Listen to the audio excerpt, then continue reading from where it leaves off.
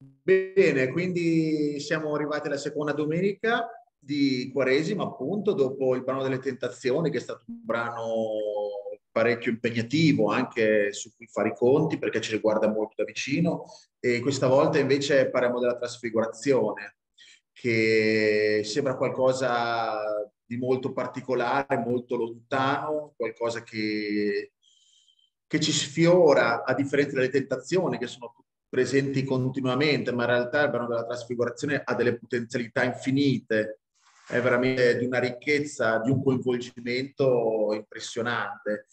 E, e, a me piace pensare un po' a questo brano come, come diviso in tre parti, no? È ovvio. La prima parte, la salita sul monte, la seconda parte è lo stare sul monte e la terza parte è appunto la discesa dal monte. Ecco, ognuna di queste tre parti merita un'attenzione, ma merita un commento a parte, perché abbiamo bisogno di essere portati fuori. Che cosa vuol dire andare sul monte? Vuol dire essere portati fuori, vuol dire avere bisogno di restare soli con Dio e di sentirci dire da Lui chi siamo veramente. Quindi per sentirci destinatari di una grande opera di redenzione.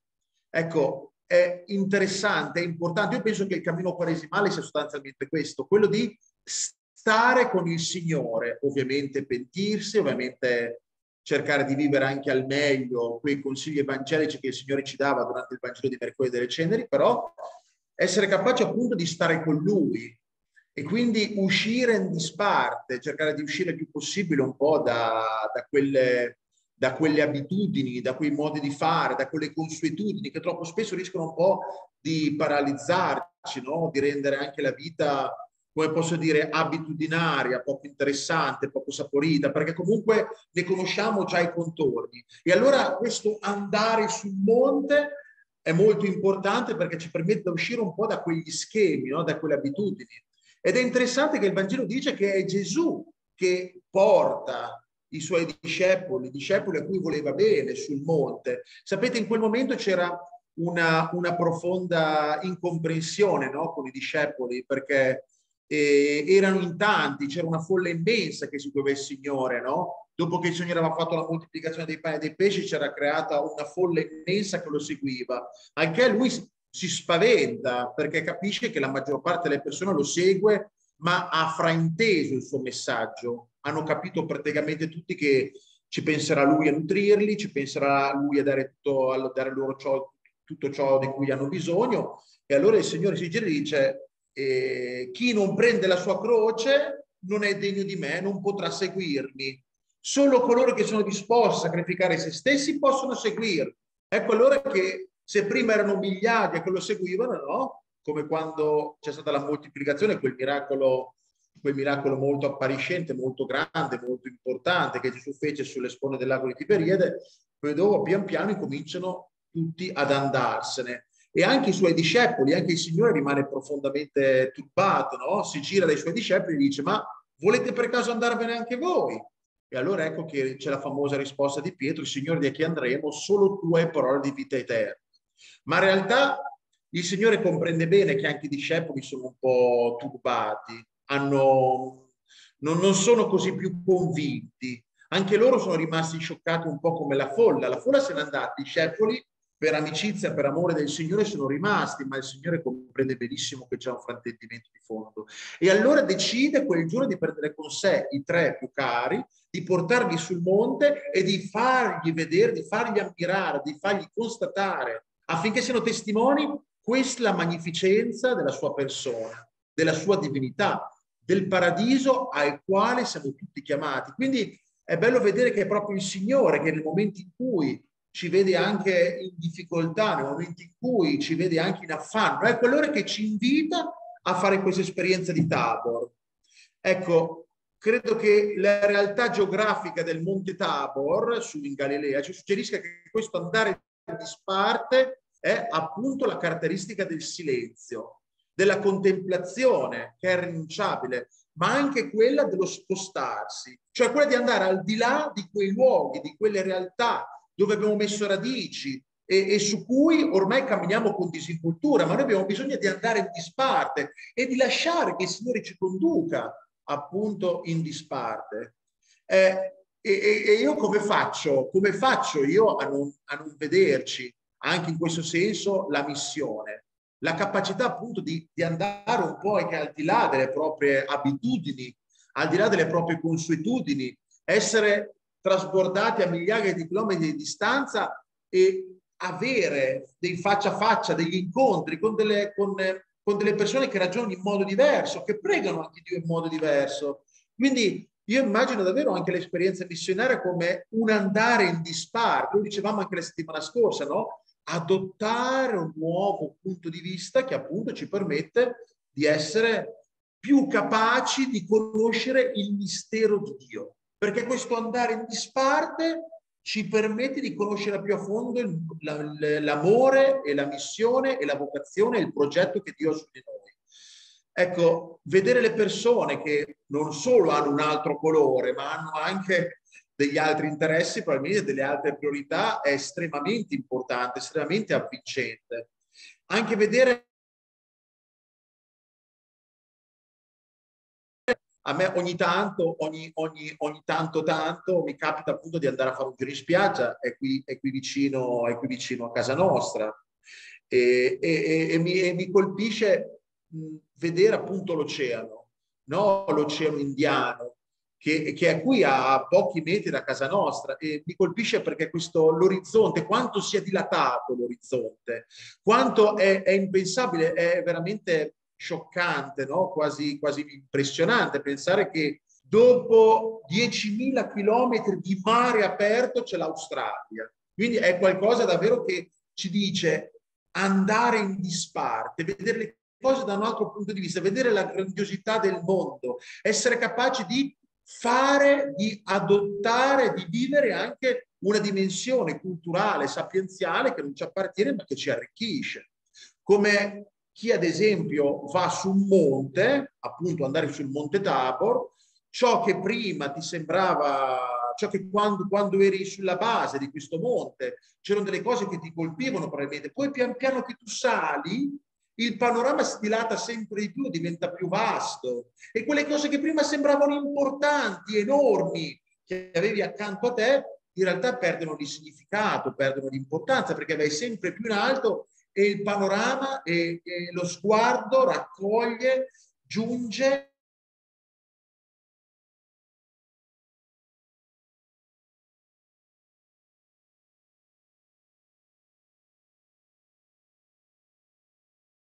ognuno pone questo invito, andiamo in disparte, è iniziata la Quaresima, andiamo in disparte, può essere un andare in disparte per alcuni giorni, può essere un andare in disparte per molti anni, però è un'opportunità che il Signore ci offre andare in disparte. Non è necessario andare in Madagascar o andare nell'emisfero australe.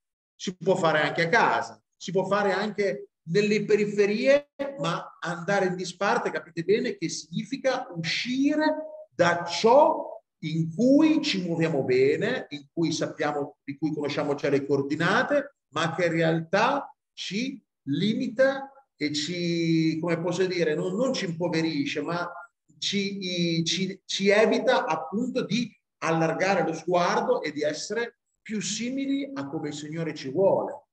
Ecco allora perché è importante pensare che è Lui che ci conduce fuori, perché è qualcosa da donarci e da chiederci di molto importante. E non possiamo farlo nel turbinio delle nostre azioni quotidiane, nella confusione, nel, nel meticciato di quello che avviene appunto tutti i giorni nella nostra vita. E poi il secondo passo, ovviamente, rimanere sul monte. È bello, è proprio bello, trasuda proprio gioia quel, quella, quella cosa che dice Pietro, Signore, è bello per noi essere qui. È vero, è bello stare con Dio. È bello riconoscerne la presenza, è bello contemplarne il volto, è bello essere faccia a faccia con lui, riconoscere appunto la sua presenza, la sua forza edificante che è qui vicino, vicino a noi, che, ci, che, che, che appunto ci, ci, che abbraccia la nostra vita, la nostra esperienza. Quando siamo finalmente soli con il Signore, possiamo intravedere la profondità delle cose e possiamo riconoscere l'invito quell'andare in disparte con lui per il quale ci siamo impegnati, per il quale abbiamo deciso di abbandonare quei sentieri sicuri, ma troppo spesso parziali, monchi, che, su cui camminavamo con disinvoltura precedentemente. Ecco, Pietro giustamente dice, è bello per noi stare qui. Signore, è bello stare con te. E quello che loro vedono non è più ciò che loro percepiscono con gli occhi, ma possono vedere finalmente ciò che Dio vede in Cristo, ciò che Cristo è autenticamente. E quindi questo, l'esperienza del paradiso è quello di stare sul monte insieme a nostro Signore e insieme alle persone a cui vogliamo bene. E poi quando noi abbiamo la fortuna, la grazia di fare esperienza del tabor, cioè il tabor ci riempie la vita, l'esperienza di riconoscere la presenza di Dio ci riempie la vita, non importa quanti anni abbiamo, se siamo ragazzi, se siamo giovani, se siamo sacerdoti, se siamo, se siamo nonni, se siamo nonne. L'esperienza del tabor è da fare, l'andare, se non andiamo in disparte non possiamo fare esperienza di tabor. E l'esperienza di tabor dà non solo da una pennellata alla nostra vita, ma fonda completamente tutta la nostra vita. Noi pensiamo che l'esperienza di Tabor sia qualcosa che si esaurisce all'interno di se stessa, ma non è assolutamente vero perché l'esperienza del Tabor ci accompagnerà dappertutto, persino nei luoghi più inaspettati. E, non, e noi possiamo fare esperienza di Tabor, esperienza di trasfigurazione, anche dove meno ce lo aspettiamo. La fantasia di Dio che ci invita, che ci porta in disparte, anche in un luogo dove non avevamo mai potuto pensare di incontrarlo. Ma ecco che si rivela, ecco che ci rivela qualcosa che si presenta in un modo, in una veste, con un volto completamente inaspettato, ma assolutamente originale. Ecco, io in questo, in questo tempo, ma anche quando ero in Italia, ma in particolare in questo tempo, andando in disparte, accettando l'invito ad andare in disparte, lasciando appunto il Signore spingere perché possiamo andare in disparte. Ecco, io ho fatto diverse esperienze di tavolo, ho sentito il Signore vicino, ho sentito la sua, pre, la sua presenza, la sua, la sua forza, il suo spirito, appunto che incoraggiava, che rinvigoriva e che entusiasmava. Io vi faccio un esempio perché è stato, secondo me, un'esperienza molto significativa. L'anno scorso, durante, il, durante a Natale, eh, ho accettato l'invito del vescovo eh, qui della nostra diocesi a fare una messa insieme con lui in carcere. Ecco, il carcere di Manacara è, è uno dei luoghi più, più terribili in assoluto, cioè eh, è uno dei posti più malsani, più infimi dove, dove poter stare, dove poter scegliere di andare. Io ogni tanto ci sono stato, ci sono stato con dei parrocchiani, abbiamo portato, abbiamo portato il pranzo per tutti, abbiamo fatto la messa, ovviamente una piccolissima percentuale cristiana, però è stato bello anche perché diciamo che non è che ci sono tante attività da fare in carcere quindi diciamo che praticamente tutti sono venuti ad assistere alla messa, ad ascoltare quello che dicevamo, a cantare un po' insieme con noi e quindi è stato molto bello animare questo momento. E, e, e io mi sono sentivo un po' in imbarazzo, un po' fuori luogo, perché non, non è un luogo a cui ero particolarmente affine, particolarmente difficile abituarsi a vedere delle persone che stanno così male è difficile anche riuscire a spiegare a chi sta a casa che cosa c'è davvero dentro quelle mura, quelle piccole mura piccole dove ci sono 600 persone per, eh, per qualche centinaio di metri quadri. Quindi, eh, vabbè, al di là di questo, però mi, col- mi ha colpito alla fine della messa vedere il vescovo, il nostro vescovo qui Gaetano, già piuttosto anzianotto, che prende su e va in mezzo ai detenuti no? che erano lì con i loro stracci addosso, accovacciati per seguire questa liturgia un po' strana, un po' bizzarra per molti di loro, e va, e va verso di loro, questi qua nel vederlo passare si alzano, c'è chi gli stringe la mano, c'è chi lo abbraccia, e lui è stato almeno secondo me 20-25 minuti a fare il giro, almeno a quelli che erano tutti lì in prossimità, almeno 200-200 persone le ha incontrate personalmente ed è stato qualcosa di profondamente intenso. Io che non vi ho partecipato, che inizierò poi a farlo nelle volte successive, sono rimasto profondamente colpito perché dico, ma intanto ci vuole un bel coraggio e poi ci vuole davvero uno spirito evangelico no? per fare questo. E, e mi ricordo che una delle cose che ho detto al vescovo quando è ritornato all'altare è stato proprio Signore, cioè non Signore, gli ho detto Monsignore, è, è, è bello per noi, per me stare qui. Grazie per avermi invitato, grazie per avermi portato qui. Non avrei mai pensato minimamente che all'interno del carcere di Manacara si potesse fare esperienza di Tabor. Eppure è stato possibile. Quindi davvero basta essere un attimo attenti, ecco, non essere troppo distratti, perché io credo che, che ci siano tante possibilità, tanti modi con cui il Signore ci incontra, ci propone anche attraverso l'invito di un amico, attraverso anche l'esortazione di un familiare, un invito, una proposta. Un, eh, ci sono davvero infinite possibilità. Ed è, davvero bello anche lasciare che sia il Signore a fare tutto questo. Noi tante volte programmiamo, programmiamo, devo fare silenzio, devo andare qui, devo andare in questo posto, devo fare questo ritiro e facciamo tutta la nostra agenda, ma lasciamo che sia il Signore con la sua fantasia, con la sua originalità a preparare la scaletta della nostra quaresima. Fare, questo non vuol dire non fare programmazione, assolutamente, però lasciare, lasciarci plasmare, lasciarci entusiasmare, lasciarci so- sorprendere dall'originalità di Cristo. Ecco, ogni luogo si trascende al nostro sguardo, seppur sfortunato, sporco, poco desiderabile, ma ci presenta una realtà che è in divenire e che desidero ottenere. Ecco, stare sul monte, che bello Signore stare qui, è bello stare qui. Poi io ad esempio posso anche dire che alla, alla sorgente della mia vocazione c'è stata la mia parrocchia, Sassuolo, quando c'era questo ambiente di educatori, c'era questo ambiente con eh, il non sacerdote, con, con, Don Luca, ma poi anche con tutti questi educatori, questi, questi, questi begli esempi di giovani, si era creato un ambiente per cui era bello stare lì. Da, da, quella, da quella bellezza sono scaturite tante vocazioni, fra cui la mia anche, però creare un ambiente, quello proprio che io cerco anche di fare qui, cercare di creare anche in parrocchia un ambiente. Poi questo non vuol dire che sarà l'unico posto in cui i signori incontreranno Cristo, perché potrebbero incontrarlo in carcere, all'università, in spiaggia, a casa o dove andranno. Però creare un ambiente, fare in modo che il Signore possa pre- presentarsi, affascinare tanti giovani anche attraverso la presenza di un ambiente positivo, dove si respira aria buona. Anche sul Monte Tabor probabilmente si respira aria buona, no? 800 metri d'altezza, se non mi sbaglio, ci sono stato anch'io. Ecco, respirare aria buona, vivere con tanto entusiasmo anche la possibilità di lasciarsi formare all'interno di un ambiente positivo. Ecco poi il terzo momento, discendere dal monte.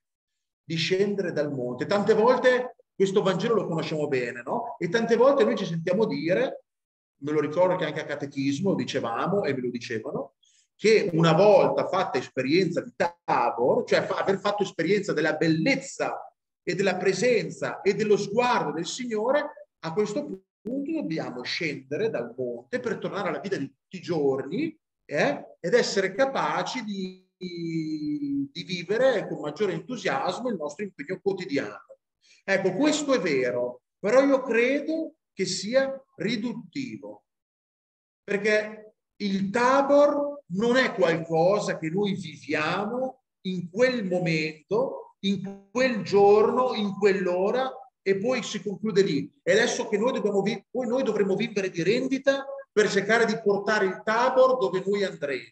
Ecco, in realtà il Tabor lo si farà per sempre, perché nel momento in cui uno riconosce la presenza di Dio si sente voluto bene, si sente accompagnato. Ecco allora che questo, questa esperienza non rimane semplicemente un pallido ricordo a cui possiamo attingere per, per ritrovare energia poi per il futuro, ma diventa qualcosa di integrante della nostra vita, che sarà per noi, che sarà nostro per sempre che sarà con noi per sempre. Noi scenderemo da questo monte, andremo nella nostra pianura, no? andremo a rincontrare le nostre cose, saremo sempre, torneremo un po' alle nostre abitudini perché il Tabor non può durare per sempre, però durare per sempre dal punto di vista emotivo, però è anche vero che bisogna farlo maturare, questo innamoramento va fatto solidificare, va fatto cristallizzare perché diventi qualcosa che ci apparterrà per sempre. Ecco perché è davvero qualcosa che gli innamorati di Cristo si portano sempre con loro. Ecco, e andare, andare nel mondo, scendere e avere questo ricordo che non è semplicemente un ricordo, ma è qualcosa che è presente nel nostro cuore, nella nostra vita.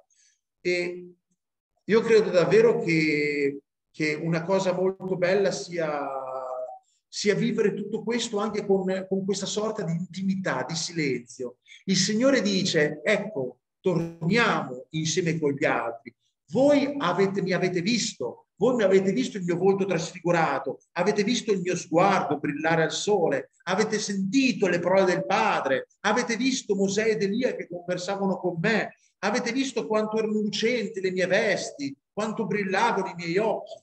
Ecco, questo ricordo dovrà rimanere con voi per sempre, questa esperienza diventa sapienza e sarà con voi per sempre. Questa, questa gioia ve la dovrete, la dovrete portare in pianura e fin sul Monte Calvario per essere forti, nel momento in cui vi sarà chiesto di essere forti.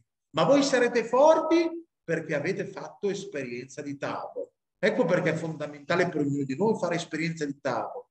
Non, un cristiano non può esimersi, non può rinunciare, non può far finta che non sia importante, riconoscere la presenza del Signore, che davvero sentiremo nostra, nostra per sempre. E poi lasciare, ritornare con il Signore laddove il Signore ci guiderà.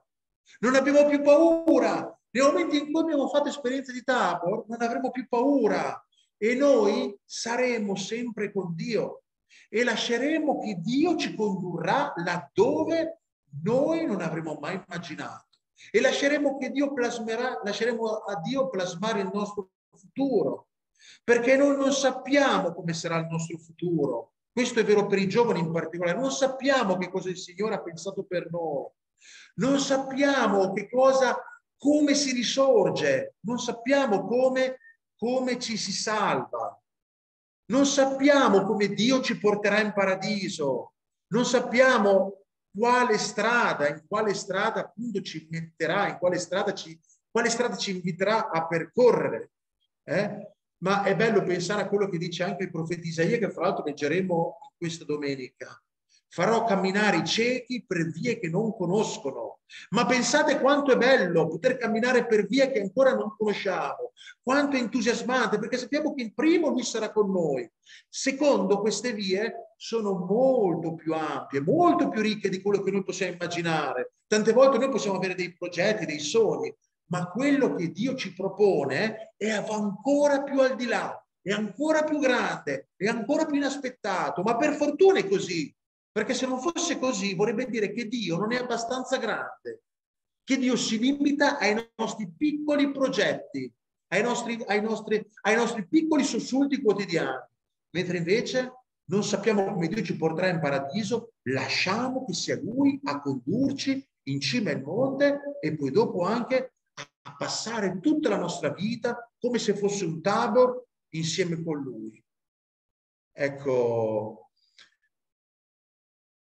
la pedagogia di Dio, se posso sintetizzare, la pedagogia di Dio è portarci per una strada che non conosciamo, perché se la comprendessimo sarebbe piccola come noi. La strada per arrivare alle cose veramente belle, le cose eterne. Dove siamo diretti quindi? Dove stiamo andando?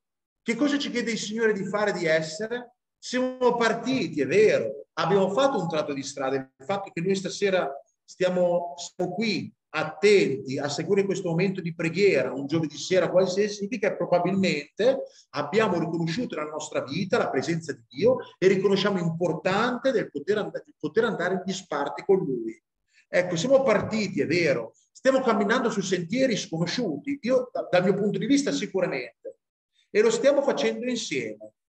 In questo senso occorre silenzio, preghiera, unità ed entusiasmo l'entusiasmo di chi si sente, entusiasmo deriva appunto anche tu dal greco, che vuol dire riconoscere e sentire la presenza di Dio, la presenza dell'Eterno che sollecita, che invita, che, che colora, che dona forza alla nostra vita.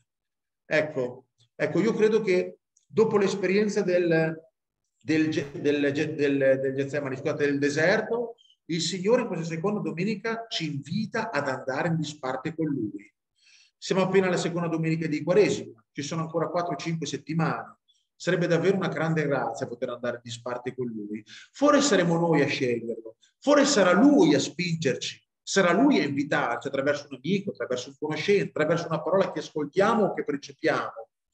Ecco, però facciamo esperienze di tabor. Io credo che sia anche molto importante di tanto in tanto dire al Signore, Signore, forza, mostrami la tua gloria, fammi partecipe della tua divinità, aiutami a comprendere e a vivere profondamente ciò per cui sono stato chiamato, ciò che tu hai pensato e vissuto per me, in modo tale da poter arrivare alla Pasqua in, questo, in, questo, in questa dimensione di trasfigurazione, con questa gioia nel cuore e nella certezza che siamo entrati in una strada che il Signore ha pensato e che ci condurrà probabilmente non dove noi abbiamo pensato, ma attraverso dei sentieri, dei cammini e delle prospettive nuove, inaspettate e assolutamente originali.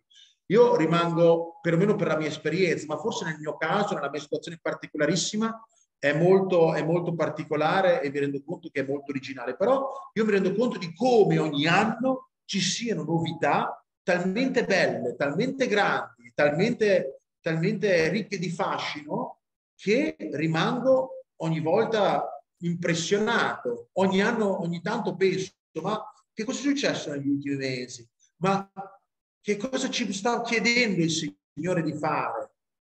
Adesso, al di là di questa esperienza bella della missione, del, del, del conoscere persone, del, anche questa esperienza ultima, questa dell'esperienza dell'università, i ragazzi universitari, questa proposta di creare questo, questo ateneo insieme con dei collaboratori, io credo che sia qualcosa che fino a poco tempo fa era assolutamente impensabile. Mai avrei immaginato, mai avrei pensato anche solo sei mesi fa a questa, a questa ricchezza, a questa prospettiva. Ecco, lasciamoci affascinare dal Signore, chiediamo al Signore, Signore, conducimi per queste strade, ma poi dobbiamo essere docili nel poterlo fare, nello stare con Lui e non essere sempre lì a fare tutti i calcoli, a prendere tutte le misure, perché le nostre misure sono cenere, eh? a differenza di quello che il Signore ha pensato per noi.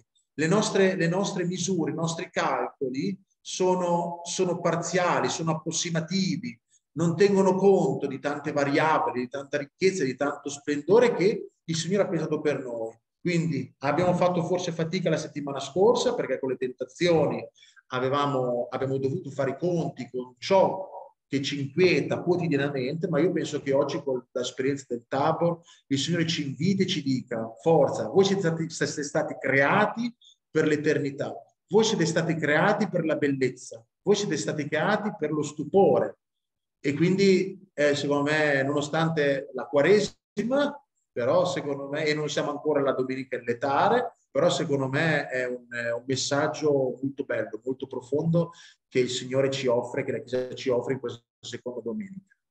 Grazie.